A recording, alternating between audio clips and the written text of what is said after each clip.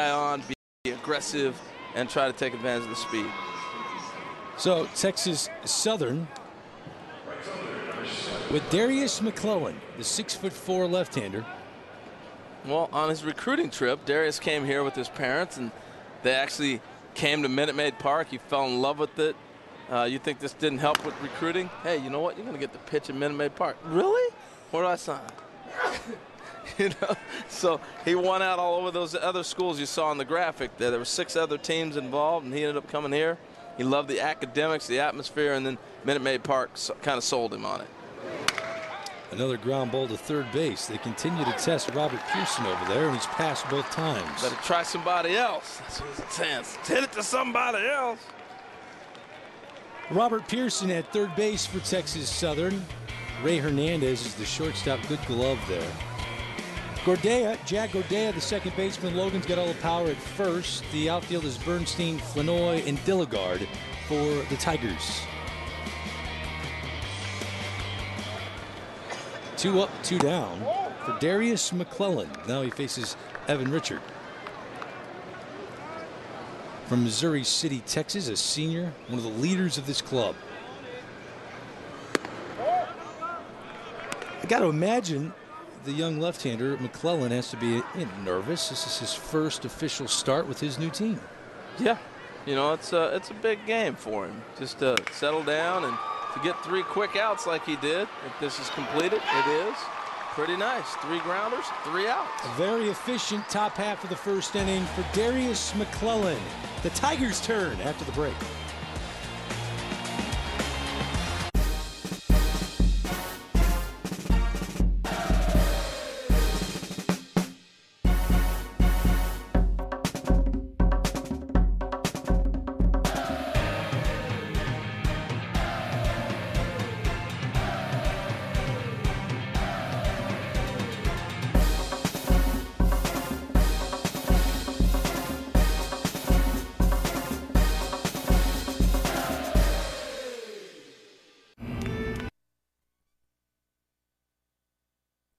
Erosions in the lining of your esophagus. Talk to your doctor about the risk for osteoporosis related bone fractures and low magnesium levels with long term use of Nexium. Possible side effects include headache, diarrhea, and abdominal pain. Other serious stomach conditions may still exist. Let your doctor do her job, and you do yours.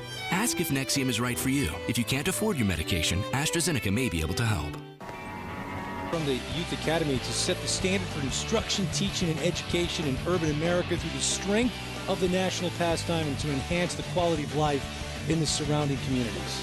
Well, and they're doing such a great job of being able to expand. You may not be a play, Major League Baseball player, but there's opportunities for you to get involved in Major League Baseball, and that's really what that mission statement is all about.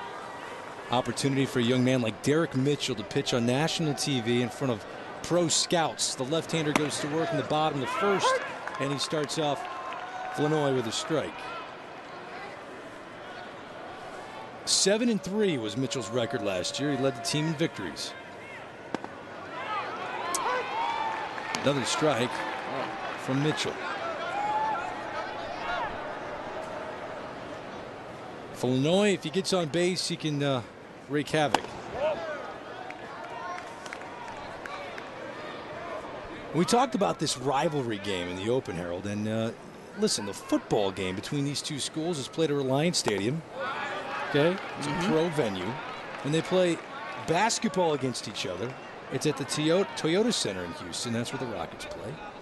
And now, for the first time, these head coaches get to have their baseball teams play in a pro venue, and Anthony Flanoy gets things started for the Tigers on the right foot. Big turn at first. So let's see what Texas Southern can brew here in the bottom of the first. No, that's, that's pretty cool. Uh, they can.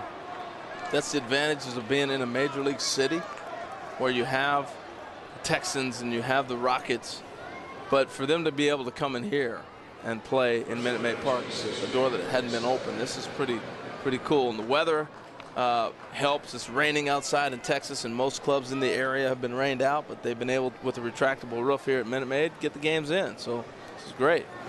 Nico Bernstein showed but Instead, it could be 4-6-3, and it is.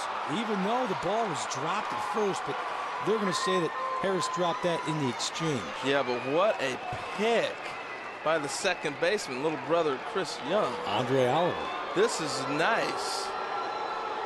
Uh, he's getting ready to throw the ball around. That's why he dropped it. And you can go either way with the control. But this is a, almost like a they're, they're going to slash and run on this. And his quick exchange is why they were able to turn this over. That's a double play. The first baseman's taking it to, to throw it around. You can see clearly here he catches it. The out is made.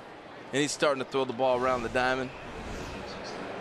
But that was a beautiful play. Nice defensive play. Second baseman started that. Shortstop with a nice turnover. This is the conversation that Mike Anderson, coach, is saying, hold the timeout. How you, how are you saying that he didn't drop that ball? But if you watch here, he'll catch the ball clearly in the glove. All right.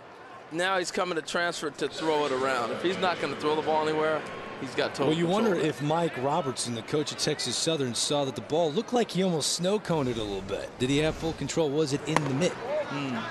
Maybe. I, I would have had to argue myself, but I think I'm siding with the umpire on that call.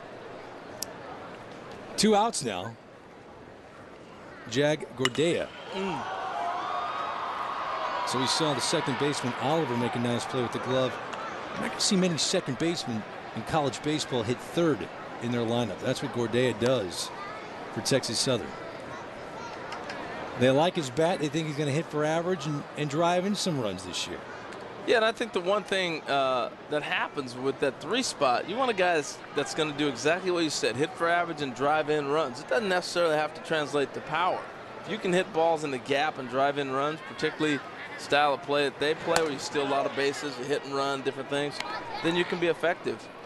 We're just used to things in, in Major League Baseball being what they are. You know, the power guy hits third, fourth, or fifth unless you're the Red Sox and you put Dustin Pedroia in that spot. Yeah, and even when he does that, he has power that night.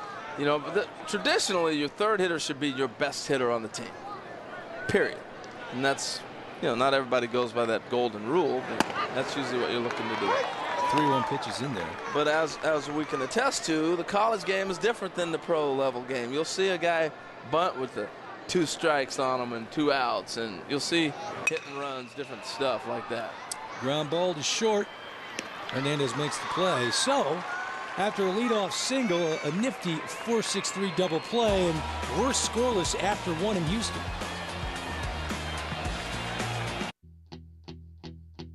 Imagine living and learning in the modern facilities of the second oldest public institution in Texas. Imagine experiencing the spirit of Prairie View. Imagine choosing from over 90 different degree programs.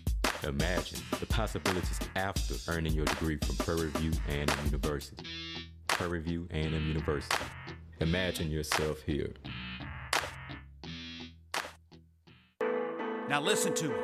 I've seen you grow as players and grow as a team. And no matter what happens out there, University is the great Lou Brock. Vince Coleman's son played earlier today for Southern at first base. He got the son. His, his name. He got the start. His name was Vince Coleman Jr. Hall of Famer Andre Dawson and Rickie Weeks, who starred at Southern University as well. Pretty impressive crop. Back to action. McClelland with a strike to Brad Bennis, the cleanup hitter for Prairie View A&M. Brad Bennis is from Omaha, Nebraska, Omaha Central High School. And uh, I have a nephew, Daryl Hawkins, who plays at the University of Oregon. They went to school together, high school together. Small world, huh? Some good baseball there. Their, their school at Omaha Central is located right next to Creighton University. And now Creighton on the campus there has the host the College World Series now that they moved that to the other side of town, the stadium.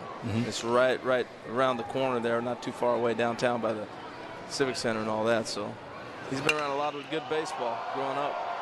Sends this one to center field. For Illinois has it for the first out in the top of the second. What do you think when uh, people bring up the idea of maybe for a year taking the College World Series out of Omaha? Nah, that's where it's supposed to be. You know, that's the one thing. Um, when you think of Omaha, Nebraska, you think College World Series. They've done a great job of branding that uh, for any player to get that in their mind that that's where you want to go. I, I think sometimes with the other tournaments, uh, you think Williamsport, you think Little League. You know, I mean, I think it's cool. But we, with with a lot of things, I think that's what we're trying to get to with RBI and whatnot because they rotate. You know, one year it's in Minnesota, Yeah. another time it's somewhere else. And I don't think you get the fan base or the following. Kids need to know where they're going. I want to have a destination. I'm going to Omaha. Every college player in the country, when you mention Omaha, knows where he's going. It's not like the Final Four. It's a you don't have the passage. same. You don't have the following that you have for the Final Four or the national championship game in football, where you can rotate that around the bowls. Yeah. Not the maybe same. you would if other cities got to see what it would be like to have the College World Series there. Again, I've been to Omaha. It's an amazing Mm-hmm. place to have that College World Series, and it's an unforgettable experience for all the kids that get to go. Here's Dominic Harris, the first baseman. Well, and, and and again, one of the great traditions in baseball is being able to say, "Hey, I played where Roger Clemens pitched at." You know, although Yeah. the stadium's new now, but you've you've had that same